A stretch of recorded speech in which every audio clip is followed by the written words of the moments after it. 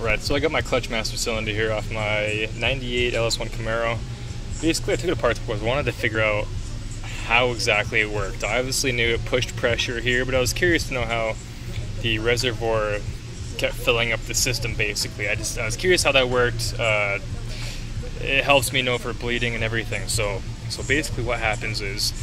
Uh, once you engage the foot pedal here, this presses in, compresses the spring. Obviously, the fluid comes out here But how does this fill up here? Usually this little nipple here that you connect your hose to up to your reservoir. And uh, anyways, disconnect this. So it sits here. It sits like that. So this area in here is where the fluid fills up. And you can see when it moves back and forth, the fluid just stays there. But what happens is, if this area fully fills up with brake fluid, and in here there is, say, a bubble or, or it needs some fluid, what's going to happen is when this piston comes back, the fluid's going to slide past the soft little seal here and fill this up.